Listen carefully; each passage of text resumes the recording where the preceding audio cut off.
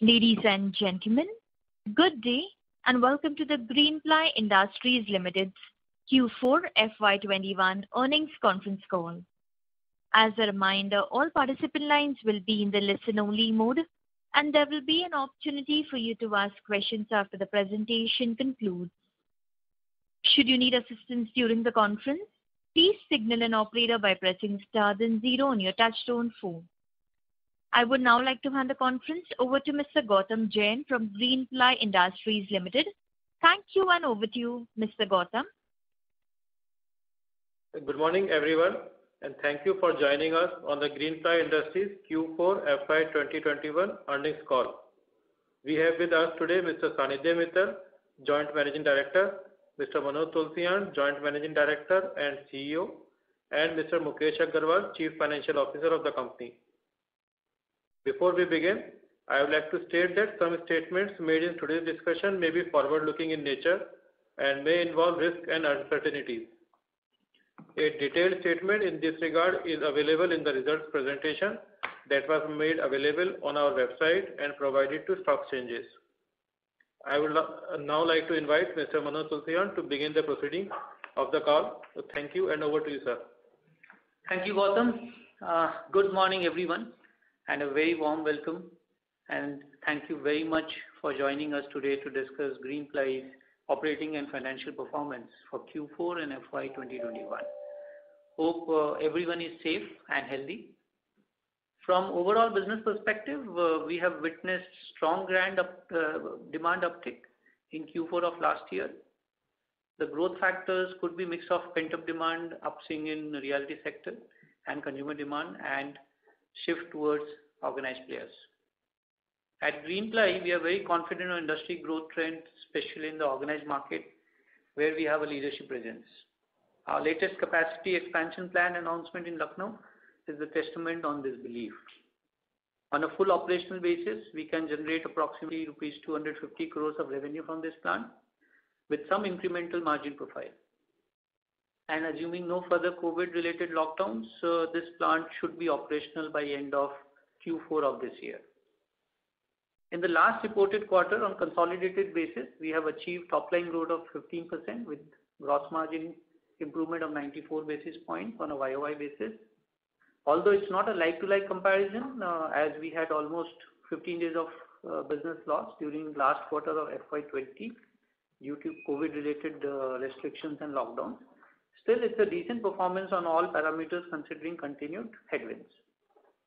Similarly, on consolidated basis, our net working capital has reduced significantly by 25 days to reach 53 days for FY 2021. I feel there is a further scope of reduction by four to five days during this year. Our consolidated ROEs have increased by 140 basis points to reach around 14% level now. In Gabon operations, we have achieved significant scale of operations with efficient improvement during the previous year. However, current business environment remains challenging due to non-availability of containers and vessels. We believe normalcy will return for our Gabon operations after such issues would be resolved. As an industry leader, we are committed to stay ahead in the industry curve by providing innovative and environment-friendly products with focus on sustainability. I'm very happy to inform that Greenply became the first and the only company in the country to introduce zero-emission plywood products.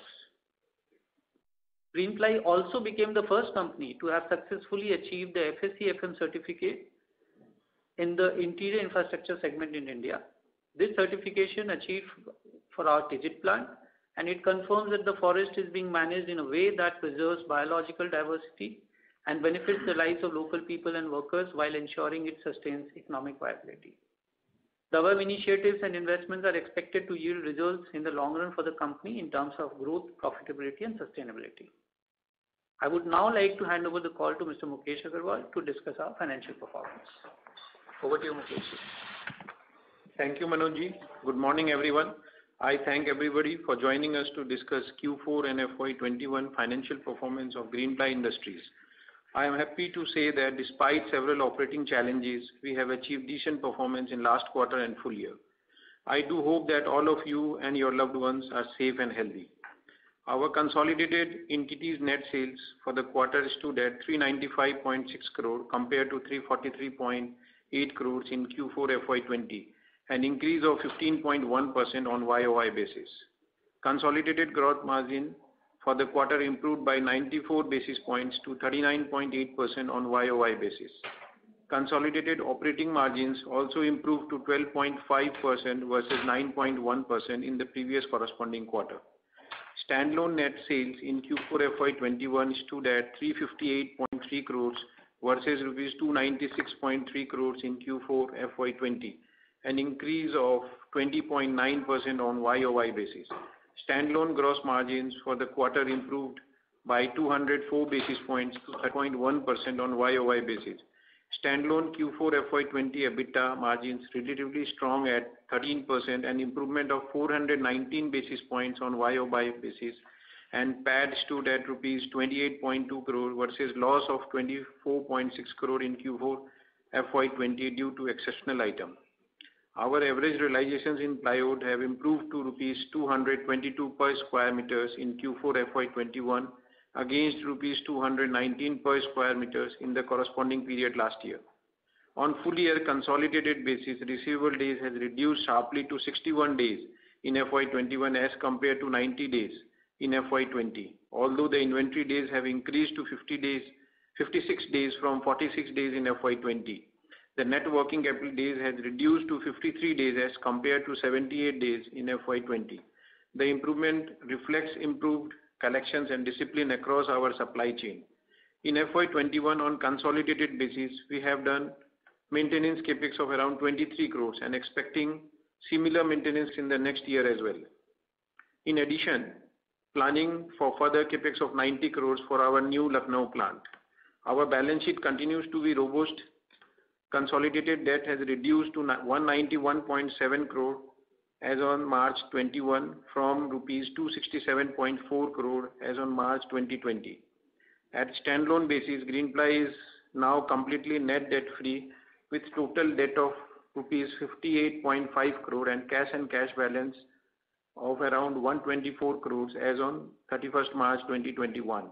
Consolidated debt equity ratio also continues to decline and standing at 0.44 as on March 2021 as compared to 0.71 as on March 2020. The board of directors has recommended dividend at the rate of 0.4 per equity share, subject to the shareholders' approval at the ensuing annual general meeting. I would like to hand over the call to the moderator to open the floor for the Q&A sessions. Thank you. Thank you very much. Ladies and gentlemen, we will now begin the question and answer session. Anyone who wishes to ask a question may press star and one on their touchtone telephone. If you wish to remove yourself from the question queue, you may press star and two. Participants are requested to use handset while asking a question. Ladies and gentlemen, we will wait for a moment while the question queue assembles. The first question is from the line of Shanti Patel from Shanti Patel Investment Advisory. Please go ahead. Good morning, sir. Good morning. What is our capacity utilization in the year 2021, and what are you uh how much you are expecting in the current ensuing year? And who are our main competitors Uh, in the industry? And the last question, what is the return on capital employed and return on equity, uh, and in future, in the current ensuing year, what we will be?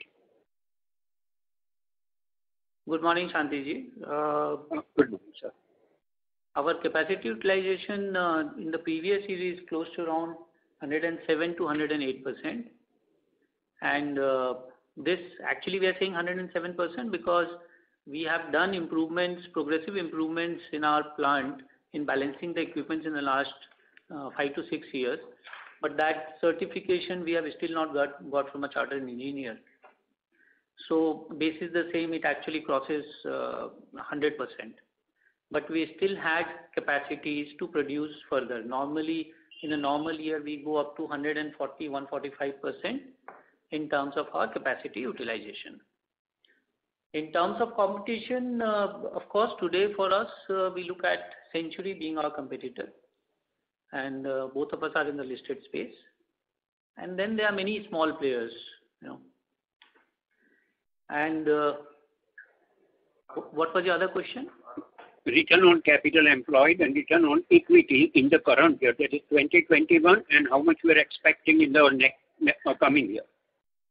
Okay. Okay uh, Mr. Shanti, uh, ROE for the standalone entity is 14%, and ROC pre-tax is around 19% uh, for the full year. And ROC post-tax is around 14.7%. And in the current year, we are expecting. Sir, consolidated, not standalone. Consolidated return on capital and return on equity. So, uh, return on equity on console basis is around 14%, and uh, pre-tax ROC on console basis is around 15.6%, and post-tax is around 12.34%. Okay. And the current year, how much you are expecting? Well, uh, current year, Shanti ji, we had we had good plans. If you really see Q4, we closed very well, and we started the year with the same level of momentum. Uh, as you see, uh, you know, quarter one has been a disappointment and uh, will be a disappointment for most of the businesses in the country because of lockdowns. I mean, only uh, leaving the essential ones. So uh we have to slightly wait and see, you know, that when do we really get into the full groove of normal business. But assuming that everything gets over by June and from July, we are back to the normalcy. Uh, in any case, there will be an improvement of 1%-1.5% on both these parameters during the year. That's what we expect. Thank you very much. I can understand. Thank you, sir. Thank you. The next question is from the line of Sonali Kohli from Bowhead Investment. Please go ahead.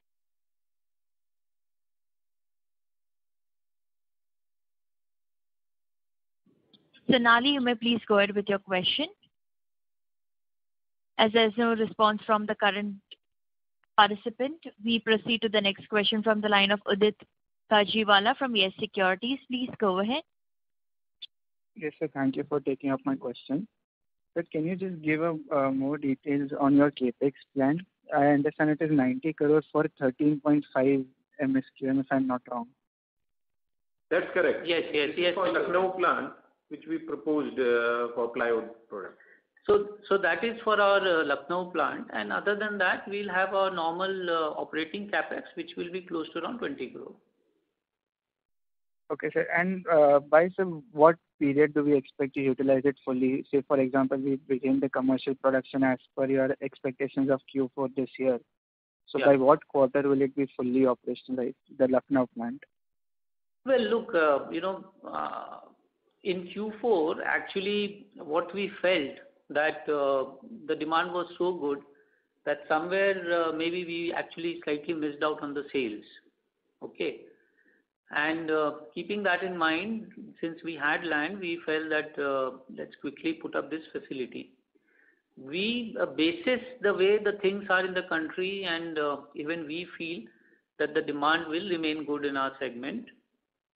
Uh, in FY 2023, uh, by quarter three, we should be in a position to utilize almost 85%-90% of the capacity. That's helpful. Sir, last question will be, sir, we have uh, seen from the industry point of view that the organized is gaining share. So how far do you think that this is sustainable, and do we still expect in this coming two years or whatever time, organized will be gaining more market share? Look, you know, uh as we have been mentioning this, and I'm sure the other players also keep mentioning, that there are no organized data on the same. We also keep getting a lot of fillers from the market, from our trade community in this. Having said that, for sure, there is a shift which is happening from unorganized to organized. And the way the GST implementation in the country is uh you know improving every day, every passing day. Plus also, uh, these two pandemic waves have uh, accentuated the entire process of shift. So the dealers also are now more comfortable dealing with more organized players, you know, who have a steady uh, balance sheet, where the supplies are not getting disrupted, there are no other issues. So uh and this we have heard from even other businesses, similar consumer-driven businesses, building material segments. So I think it is going to stay here, going forward, this uh, will be a momentum and which will be good for all organized businesses. That's great to hear. Last, just one question. Sir, can you give us the premium mix of in sales in terms of volumes and value for the quarter and full year? Well, in terms of value, it was uh, 70/30, and in terms of uh, volume, it was somewhere around 64/36. This is for the quarter or full year? For the quarter. The same for the full year? Full year, Mukesh.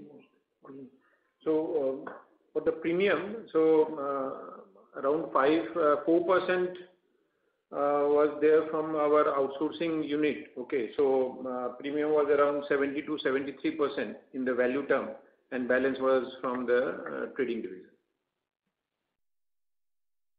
Okay, sir. Thank you so much for the detailed answer. Thank you.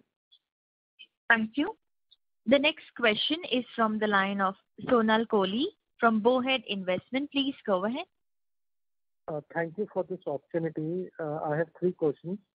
Uh, firstly, you know, as far as your Bharosa and Jeevansathi brands are concerned, you know, are you pan-India currently with these products, and what are the challenges to scale these up? And any plans you have to aggressively grow in this considering you know, consolidation in the sector? That's my first question. The second one is, in terms of you know, your growth plans, any plans over next one, two years to enter into new you know, extensions like laminates, MDF, exports or other building materials? And the third is, you know, in terms of margins, you know, how what kind of margins uh, one can expect in a steady state for you you know, whenever you know, these COVID issues are over? Thank you. Hi, Sonal. Good morning. Uh, see, your first question is on Bharosa Jansathi, right? Yeah. Yeah. So, uh, see, we are already pan-India present. Okay. And we started uh, the concept of Bharosa and Jansathi with a certain uh you know detailing in mind. But if you really see in the last 12-15 months, one, there has been unprecedented raw material price increase also, which has happened. Okay. Second thing, the pandemic off and on, so some markets opening again, closing and all those. So uh what we found that we grew up to a level and then somewhere we were getting stagnated on the same. And because of so much of change in the raw material prices, which also led to a lot of pressure on the selling price, we are reworking our strategy in terms of future growth. If you ask me personally, I see a lot of potential in terms of growing this brand. But uh, we will have to do some course corrections, which we are internally deliberating. And let's hope so that we are able to get a good growth uh, in Bharosa brand in the next two to three years. As far as uh, other businesses are concerned, as we mentioned in the last call also, that our first objective was to strengthen the balance sheet, which we have been able to do a certain level. And uh then the second objective, of course, was to make sure that our bread and butter brand and business, which is plywood, we have a sustainable growth. Because of that, we felt the need of uh, setting up another facility. So we are doing that. And then of course, uh, we will continue to look at new opportunities uh, into the building segment. And as and when we find something which is interesting, we will try to work out something. We'll take the board approvals and come back in the public domain with the same. As far as margin is concerned, I think uh you know last year has been a year of challenge for most of the businesses, including our business.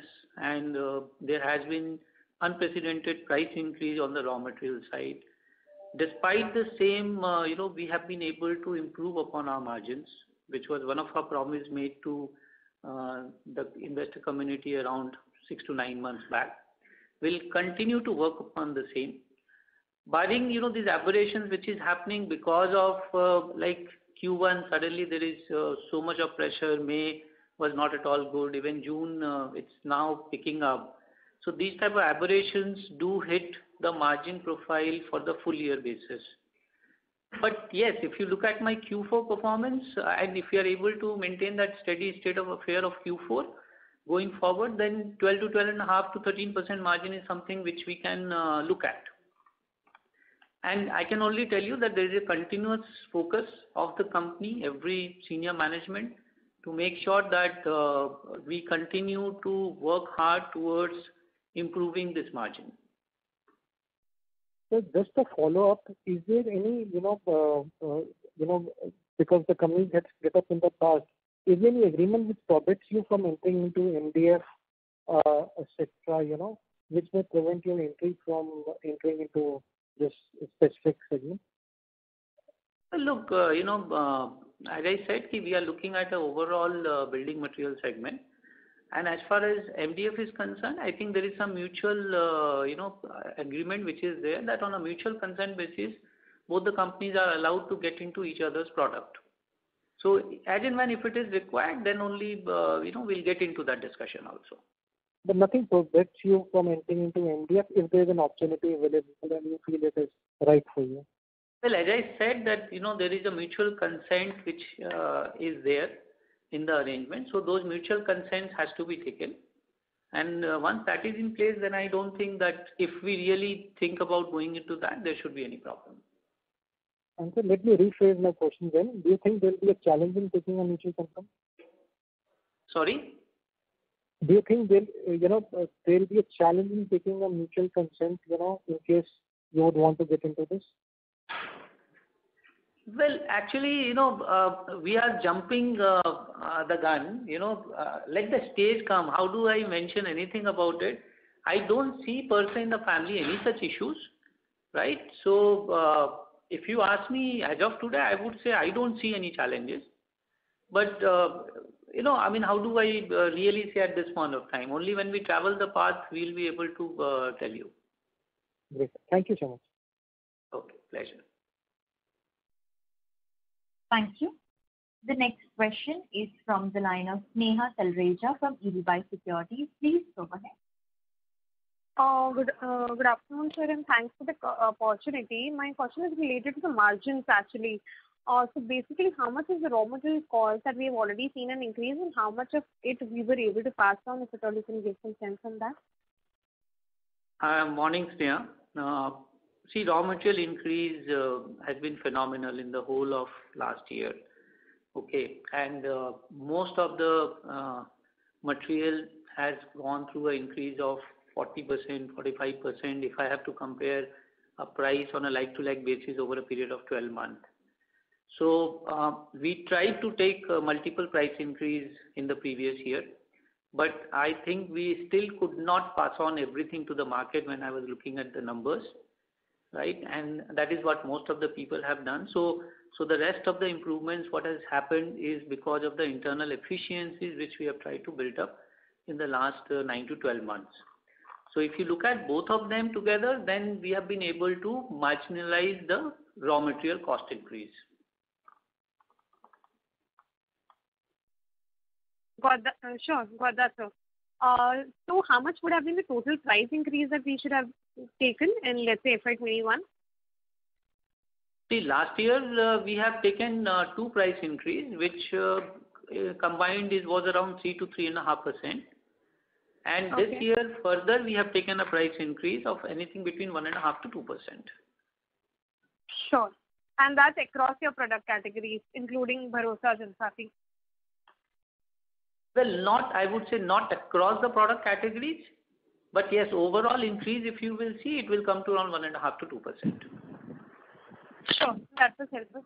Uh, Sir, my second question was broadly related to the industry growth. We definitely had seen a very challenging year. Uh, any sense that you could give that how much, according to you, the industry would have de-grown in this particular year?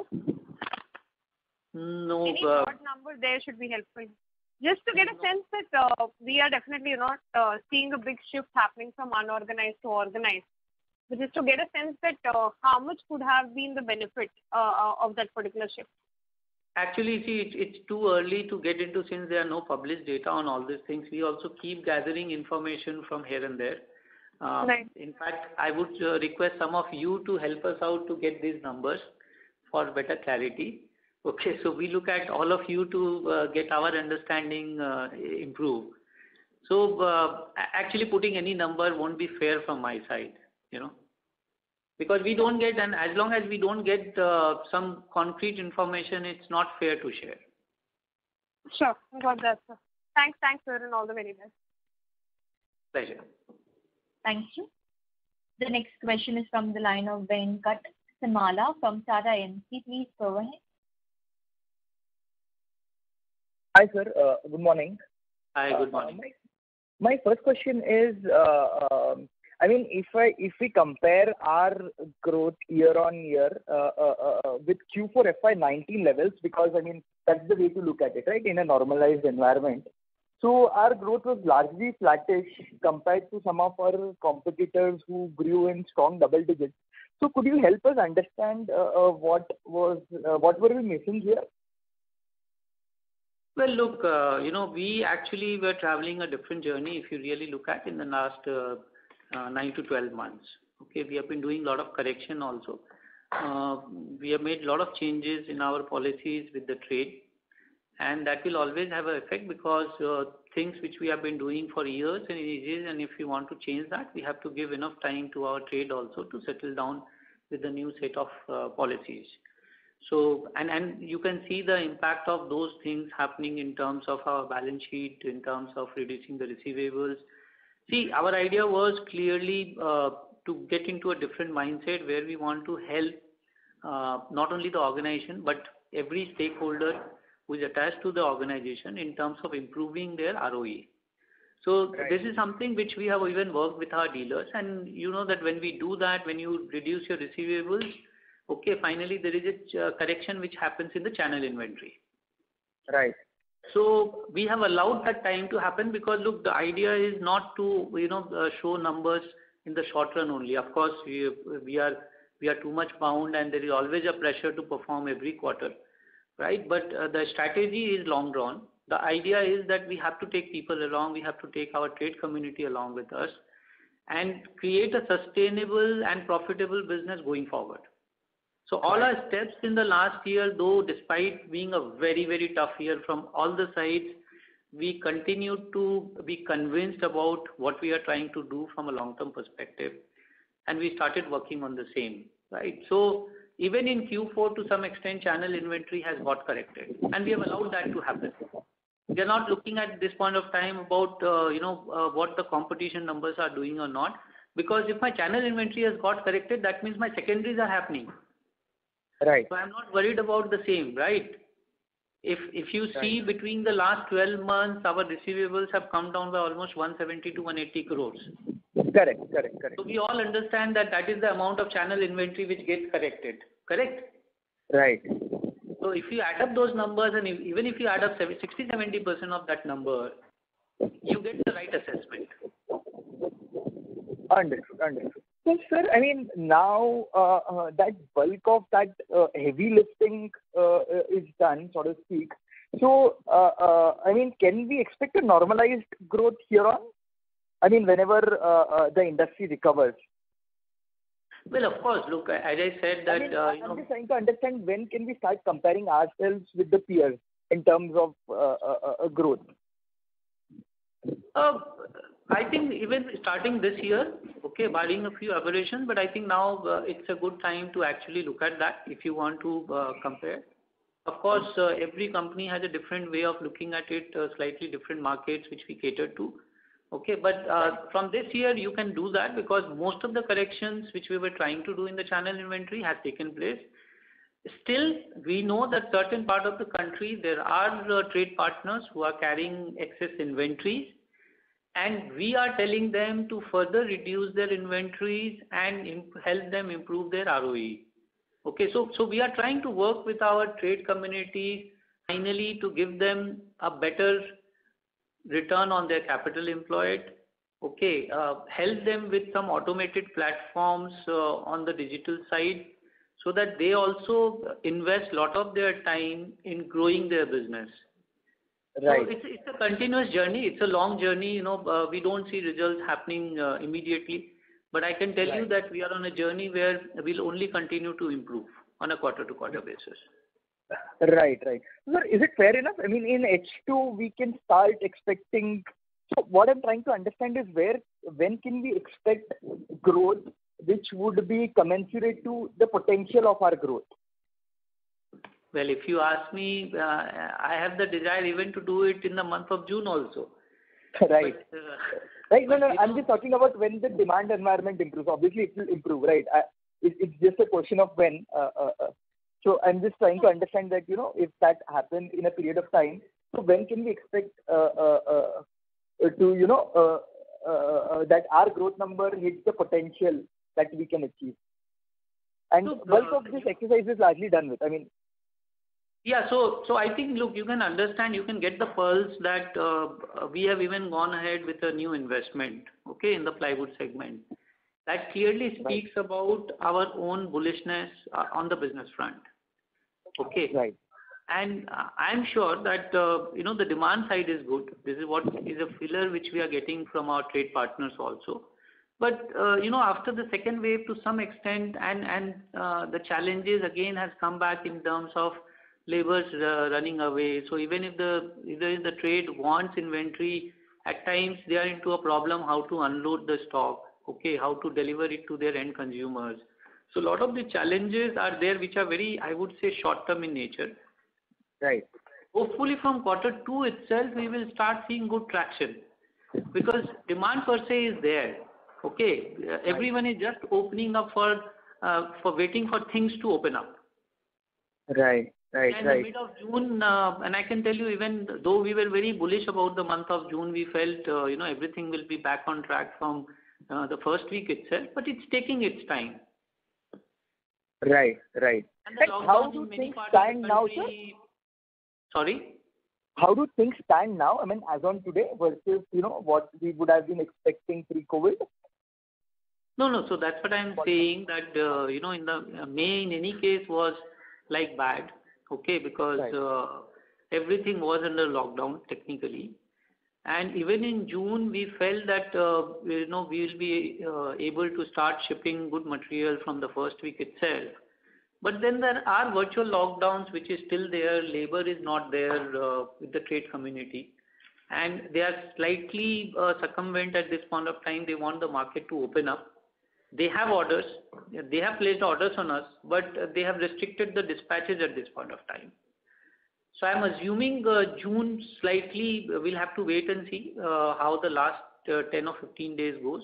But possibly from July, most of the businesses, I'm not just not talking about my business, I think, and I've checked with other people, there is similar state of affairs even for other companies. Right. Possibly from July, we are all back on track, assuming that you know, there are no more surprises which the God has for us in terms of. Right any further you know, third wave and all those challenges. Right. Right. We've had enough already. Well, yes, and this time it was slightly more painful. So, uh, you right. Know, True true that, sir. Uh, uh, one thing is, what would be the normalized growth expectation uh, for the company that investors should expect here on Uh, in your uh, uh, core bread and butter business? Well, on a volume basis, for sure. So, this year, definitely if you would have given a full year performance, and if the momentum of quarter four would have continued, we would have done a decent growth over last year. But that is also because last year, quarter one was almost like a washed out quarter. Right. Now, again, we are in a similar stage where if you really look at it, uh, most of the companies will have a similar state of affair like last year, Q1. So in last year, uh, most of the companies only started selling in June. This year, April, people sold. May and June uh, has gone bad. Okay. Looking at the same, this year still we feel that, yes, we'll have a double-digit growth. I'm assuming that you know from July, we work full-fledged. Right? Things are back to normal. Then from next year onwards, a 10%, 12% volume growth is for sure something which we will be targeting. Understood. Understood. So that's the uh, uh, steady state growth that you're expecting in a normalized scenario, at least. Absolutely. That's the minimum which we have to do. Understood, understood. Sure, sir. And uh, uh, one last thing, I just wanted to understand, when you said that you are internally deliberating about the growth prospects of Bharosa and Jansathi, uh, are you thinking about moderating your growth aspirations hereon? No. No. No. As I said that, you know, actually, we personally see that there is a humongous opportunity.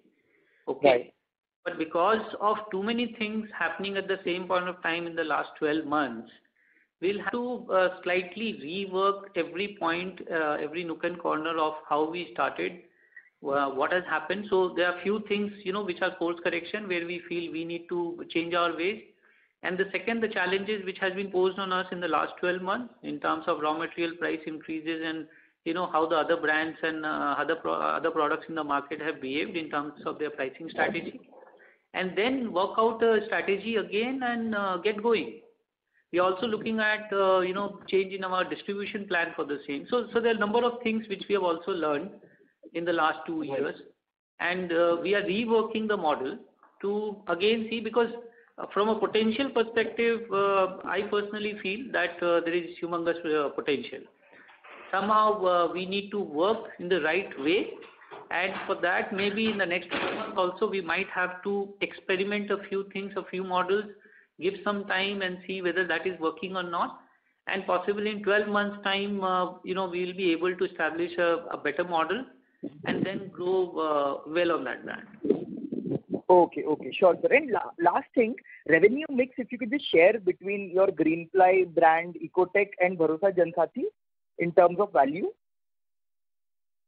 Uh, see, Bharosa Jansathi, we are doing uh, last year 1,000 crores. We have done somewhere around uh, exact Yeah.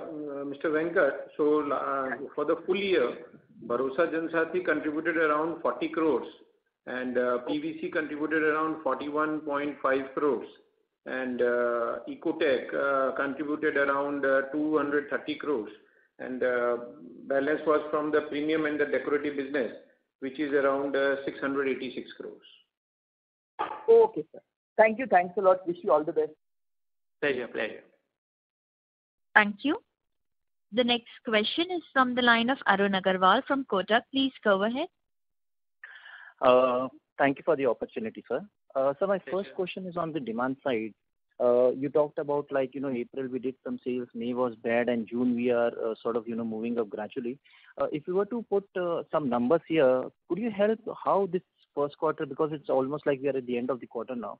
So how the first quarter is panning out vis-a-vis our you know, earlier targeted numbers that we would have thought about you know, pre-COVID, pre-second wave? No, Arun. See, exact numbers, so I don't want to share at this point of time, but I've given enough filler. Okay. As I said, April for us was uh, almost normal, barring the last uh, four or five days when we could feel the impact, we could have done better. May was almost like a lockdown. We still did some sales. Okay. And June, uh, we are definitely looking at doing better sales than uh much better sales than May. So that's how the cut would be. But it will be nowhere near what we had assumed for quarter one after a very bullish uh, quarter four. Mm, okay. Sir, on demand side, could you also just uh, help us out because I think we had ventured into the rural side as well, so how that uh, particular decision is panning out now? Well, rural side has done well, but this time during one, rural is actually hit badly, even more than the urban. So the wave is very different this time compared to the wave which was in pandemic one. Okay. Uh, having said that, our work has yielded us results. So almost 6%-7% of our business has now started coming from uh, our rural uh, penetration. You know, that is the that is the new segment of penetration which we have done in the last eight to nine months. Right. Yeah. Okay. Sir, we we expect this segment to grow faster than the other geographies going forward for us, given anyways the base is low? Well, you know, that was the idea. But as I said that initially when you kickstart something, uh, you get a momentum and then uh, you get a stability and then you have to again course correct it and go to the next step. So I think next three to six months, we will see that first thing, uh, we are able to sustain the 6%-8% volume of business. Right? Because the mindset of rural is very very different than the mindset of urban. and we are also learning in the same. And then of course, I think there's a large opportunity there. So we'll continue to work on the same. And if we work, then why would we not get the results? Sure, sir. Uh, so on the margins front, uh, we had aspiration of uh, a relatively higher margin than what we are doing currently. Uh so and we are also in a scenario where we are facing cost material or raw material increases, and we are, you know, it's being difficult, as you talked about, you know, passing the entire cost to the customers. How do you see other cost-saving initiatives that you know you would have last year? Uh, some of those costs might come back and you know, some new cost initiatives that you would have this year. So could you just throw some light on that? Well, look, as I said, we have uh, worked a lot internally in the last 12 months. A lot of internal efficiencies have been built up on the plant uh, cost. And we have done major substantial savings improvements there. We have done savings in some of the other costs, like rationalizing people also. There were certain forced savings like uh you know on the area of travel. We have also tried to look at the branch models and whether we need so many physical branches. So we have cut down on a few branches also. So wherever we could save something, we have done that. So you know there was an opportunity for us to cut down on certain costs, which we felt we can during this period. At the same time, there would be new costs also, which we'll be entering. So, we have been working now on uh, our digital platform. We are working on IT automations. We are we are working on uh, our distribution model, which is a supply chain model. Okay. We are also working now extensively on uh, further augmenting our branding initiatives. So, there will be new costs which will be coming, and we'll invest on people also. But keeping all those things in mind also, uh, we had felt last year that there was an opportunity to grow the margin by 300-400 basis points over a period of 4-30 months. Uh, the initial signs are good. As I mentioned uh, to someone else, that despite significant increase in the raw material cost and we not being able to pass on that entire thing to the market, we were still able to improve upon our margin profile. With some better time, better traction, and all these automations, what we are trying to do, branding initiatives on which we are working, supply chain management, which we are trying to strengthen further through a lot of automation processes, we will still get some more benefit going forward. And then the rest would be operating leverage. So uh you know, if things goes right from here, another 12-18 months, we will see further improvement in margins. This year looks challenging because we'll be reinvesting a lot of money, but by next year, you will see further improvement in margin. Thank you. The next question is from the line of Shrenik Bachhawar from JM Financial. Please go ahead. Hi, sir. Thanks for the opportunity. My first question was, uh, uh, as uh, we had done some channel checks in Yamunanagar around April, May, and we got to know that almost 40%-50% plants there were shut as the demand markets of Central and West India were shut due to COVID, and also raw material cost pressures they were facing. So could you help us understand how is the scenario there and whether these plants that are shutting down will be able to come back so we can get some tangible sense about the shift from unorganized to organized? See, uh, you know, we have seen many such uh, cycles in the past. We have all assumed that, yes, this is the time now when the uh, organized will really bounce back, okay, and it will dent the unorganized in a big way. But every time we also find that you know, this unorganized segment bounces back. So whatever you said today is more or less a reality in terms of the last two, three months. We have also heard the same. Uh, some of them will be in a difficult situation, uh, the way we look at business today, for them to bounce back. So you will see further cutting down on some of the manufacturing units, and some of them will bounce back. You know. So that for sure is going to help uh, businesses, established businesses like ours. And also, sir, what I was getting a sense that the newer players that have entered, Uh, the ROC in the businesses have reduced in plywood over the last year. The newer businesses that have entered at newer CapEx are facing issues in surviving. Can that also be an issue for newer plants? Mm, I'm not very clear on your uh, this question. Uh, what exactly are you trying to ask? The return on capital in plywood business has declined over the years. So the um, industry people have been telling me that the newer players who have uh, started new plants are facing issues as uh, uh, the cost of plants is much more than the legacy players. Do you think that can also be an entry barrier for new players? If you're asking for us or you're asking for others? For the newer players. For the newer players, yes, I will agree with you. Okay. Because, see, ultimately, uh, we have to respect uh, experiences which we gain over a period of time. Okay. So we we understand, we learn, we do course correction, and then we again get going. For a new player, yes, there can be challenge because if they have to set up uh, businesses at this point of time, the way the steel prices have gone up, the other commodity prices have gone up. So cost of putting a plant will further go up for them. Established players like us, we understand. We know that you know if my cost is slightly going up here tactically, what do I need to make sure that this is a short-term thing and I have these initiatives and uh you know advantages on which I will play. For a new player, yes, it will be difficult. It's not going to be easy for in the at least in the next 12 to 24 months, the way things are.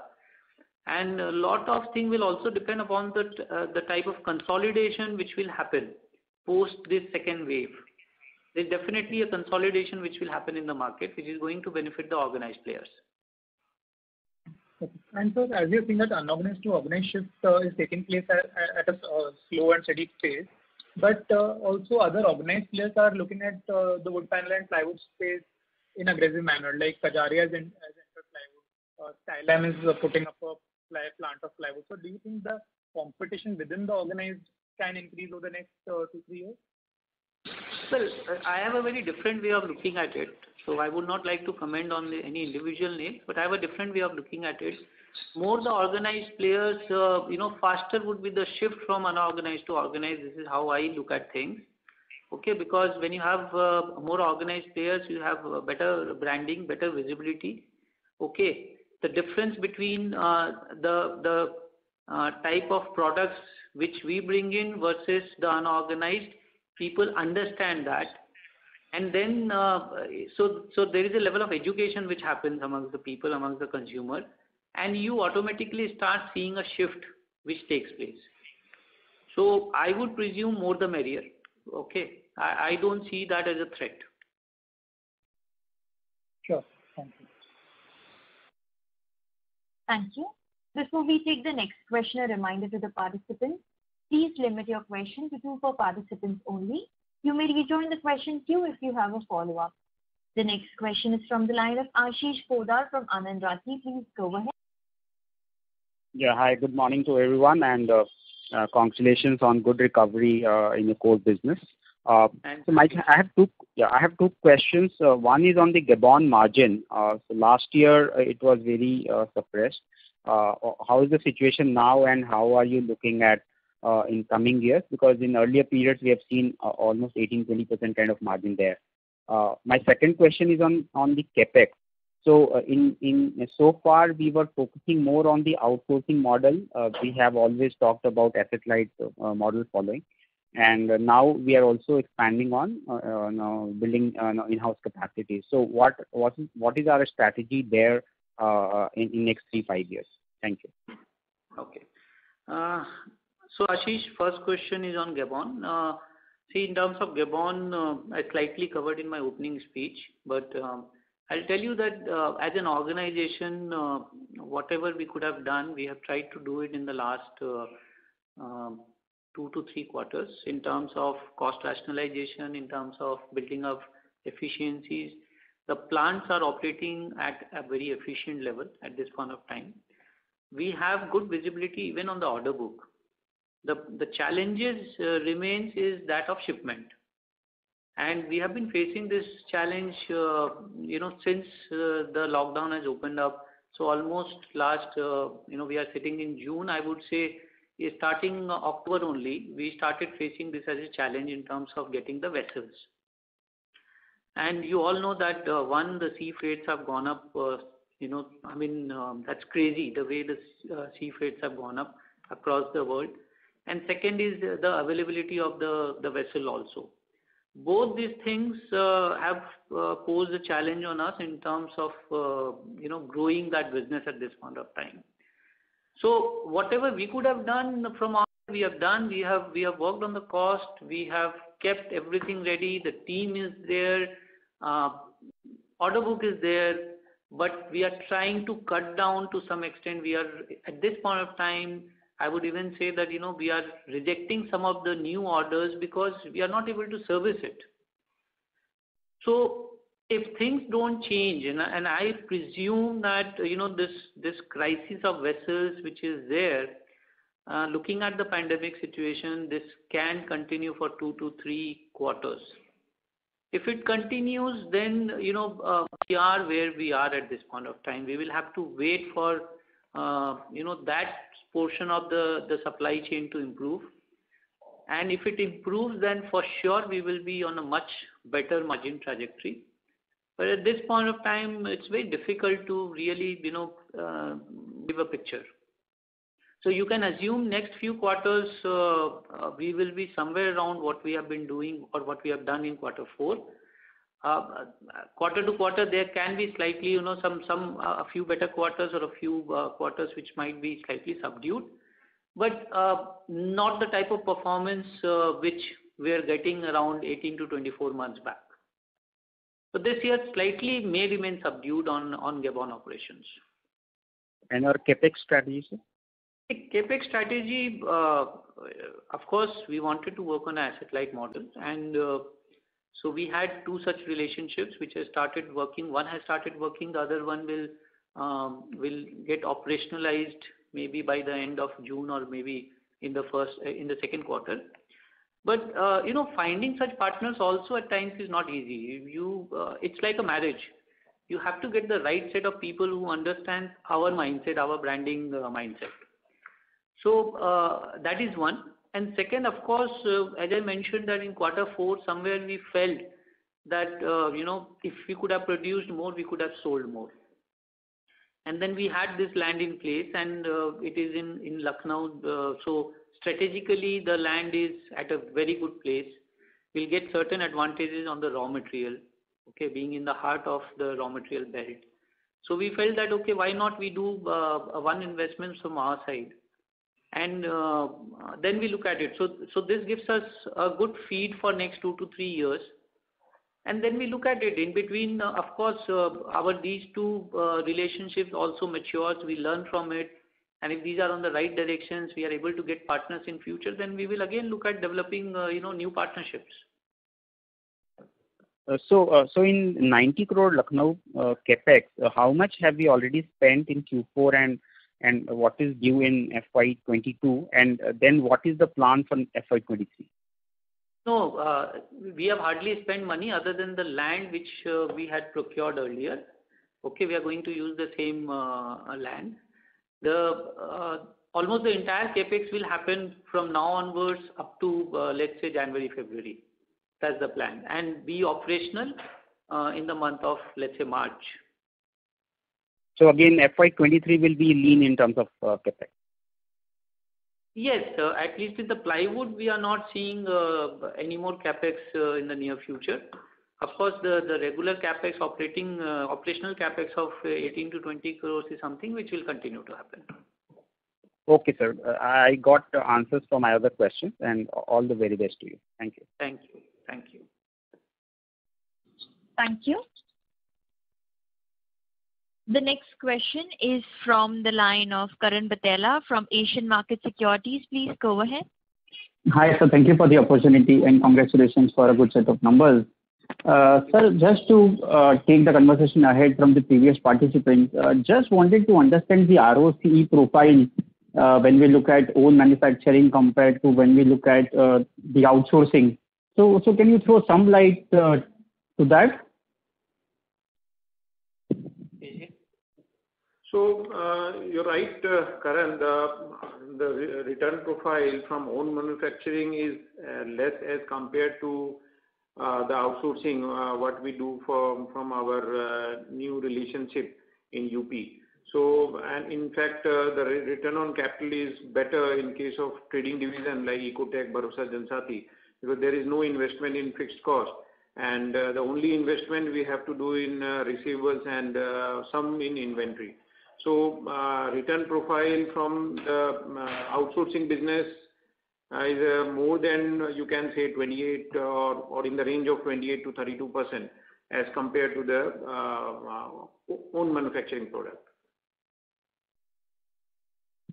Right. And own could be somewhere, ballpark number, if you can share, if I have to make some comparison between the own manufacturing and the outsourcing ROCE. ROCE at uh, standalone level, if you see our uh, uh, standalone ROCE pre-tax was around 19%. So for this year, because Q1 and Q2 Q1 was complete washout, Q1 was a recovery quarter.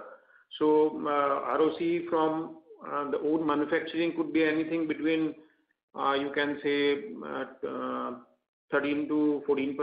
12%-13%. Yeah, 12%-13%.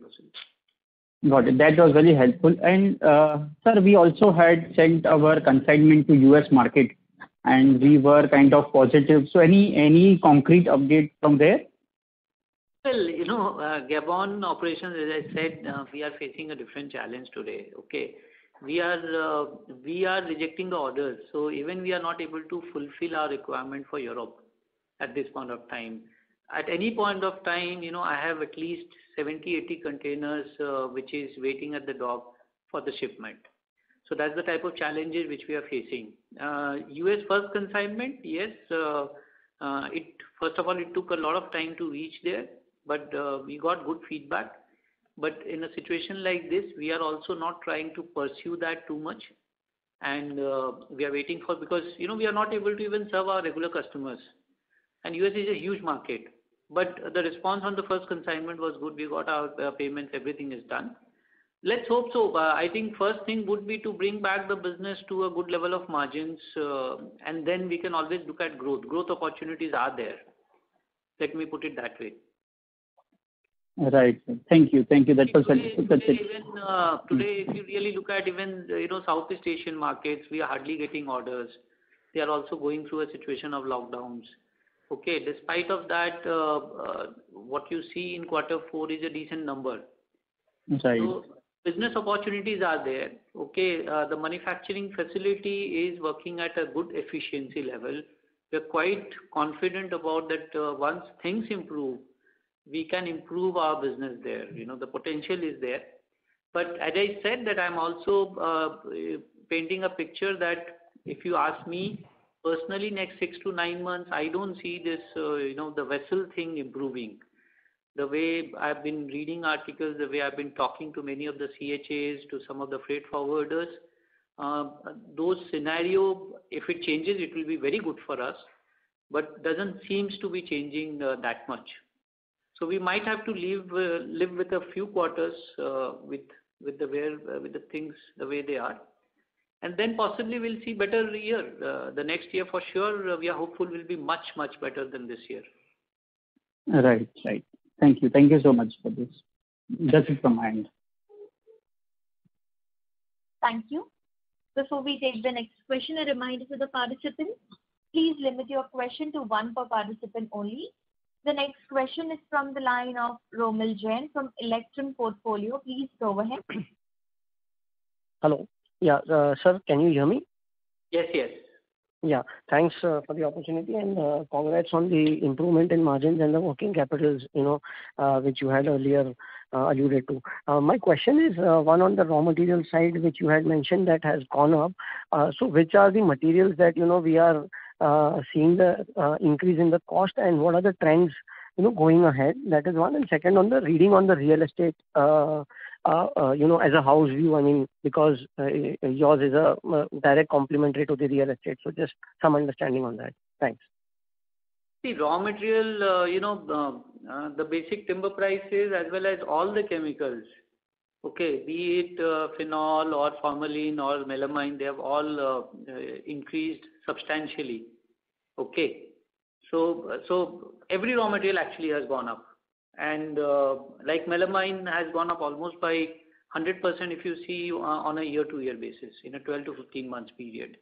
So that's the type of increase which has happened. Okay. As far as the real estate sector uh, and our linkage is concerned, I think real estate going forward will improve, okay, in terms of traction, because what is happening, one change which we for sure we'll see, a shift which will happen, is this culture of work from home.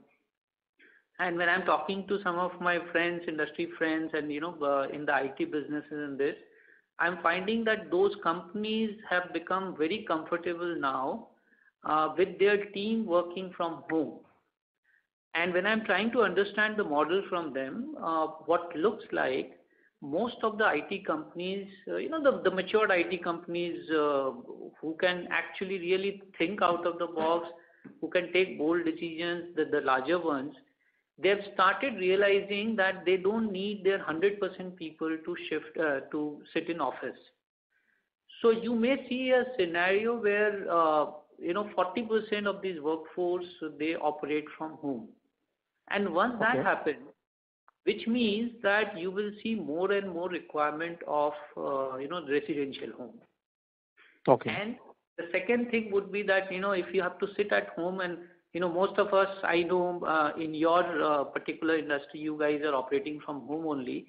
You understand the type of challenges which every family is facing. You know, you have kids, they need one room to uh, sit and do online classes. You need to occupy some space. So what you will see is people will start graduating from a 1 BHK to 2 BHK and a 2 BHK to 3 BHK. And hmm. even a 3 BHK going to a 4 BHK. You know, so everybody will need to add one room, okay, going hmm. forward.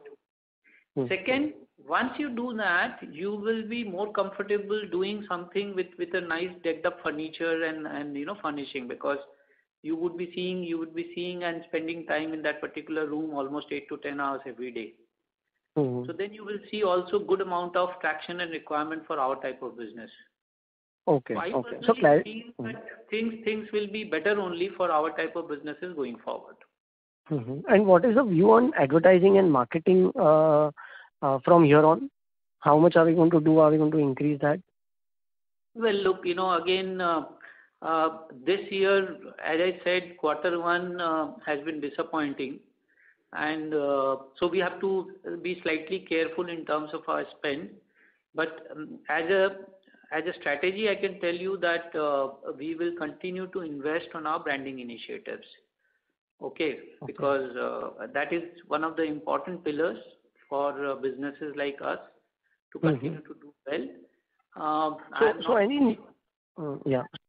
Yeah. I'm not throwing any number at this point of time uh, till uh, you know things become very normal.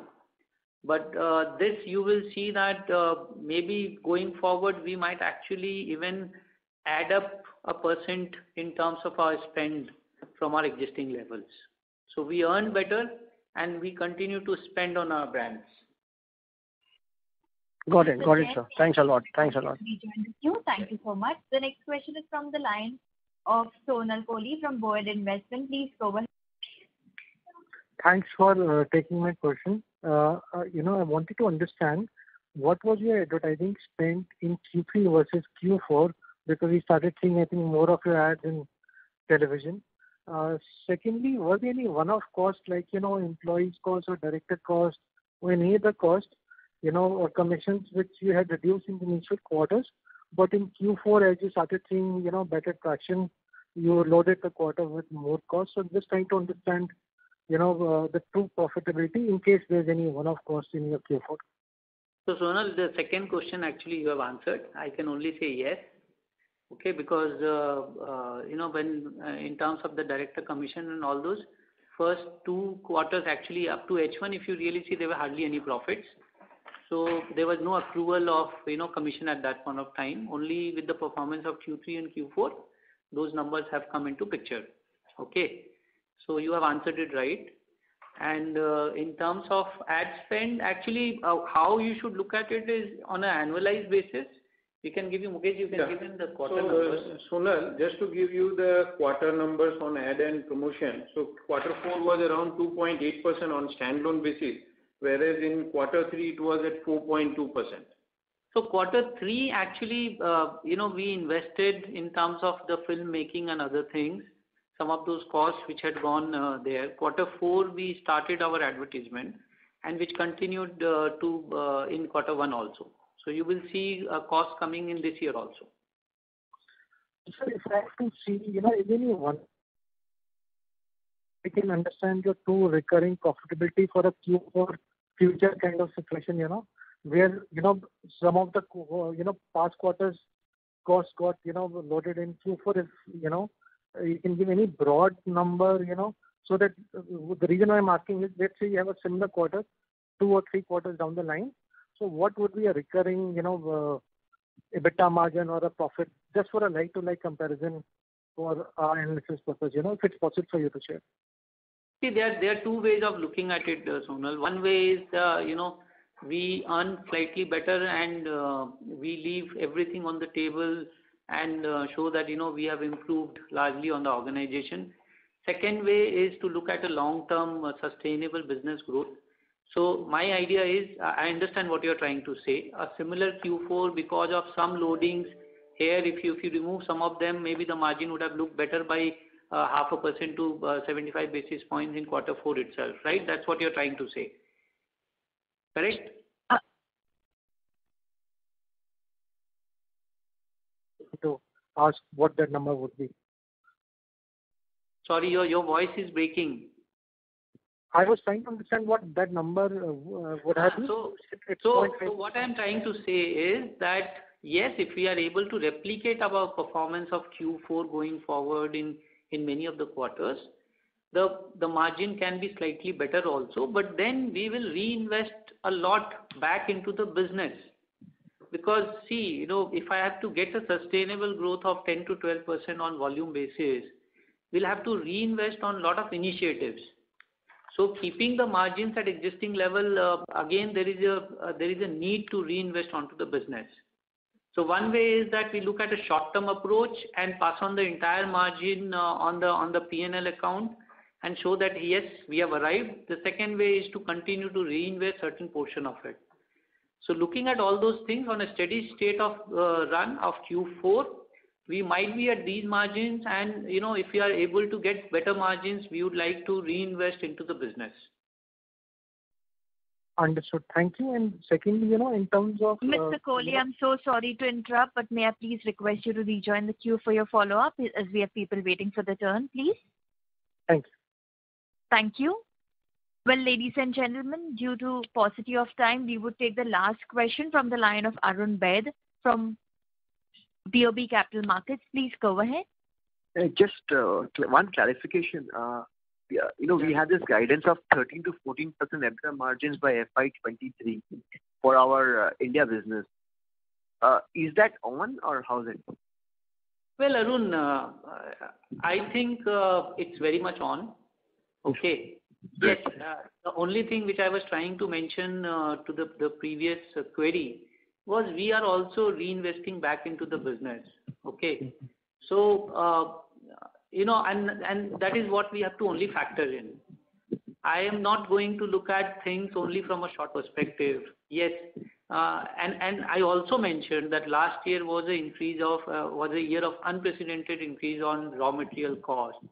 We could not pass on the entire burden. Despite of that, we were able to uh, protect our margin. And you know that uh, we were almost 20% down on sales. Okay. So on a year-to-year basis, you see a similar margin. On a on a quarter four basis, you see a much improved margin.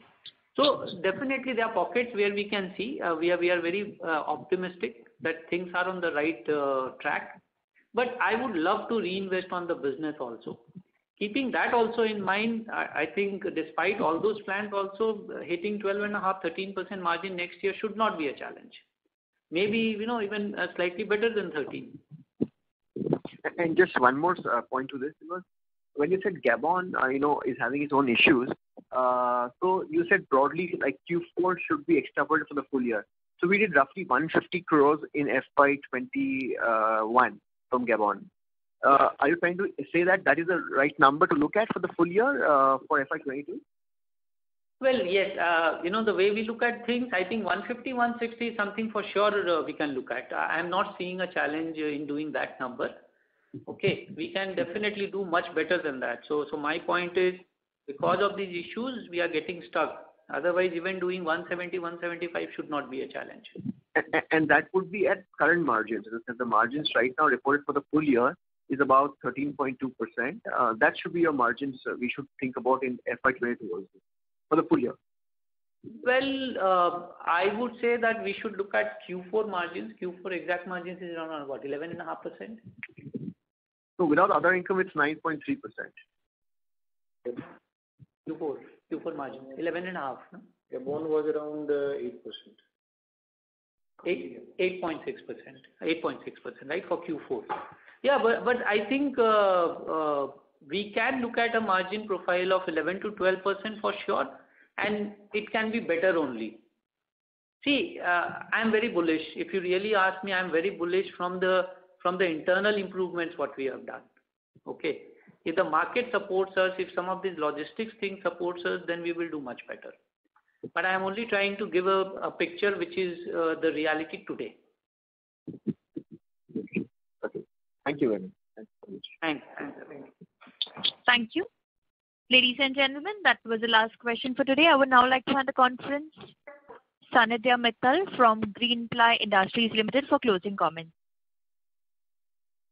Hi. I would like to thank you all for taking the time to participate in this call. We are making we are happy with the progress we are making across our businesses and the result of our various initiatives. We are looking forward to speaking with you in our next con call. Thank you. Thank you. On behalf of Greenply Industries Limited, that concludes this conference. Thank you all for joining. You may now disconnect your line.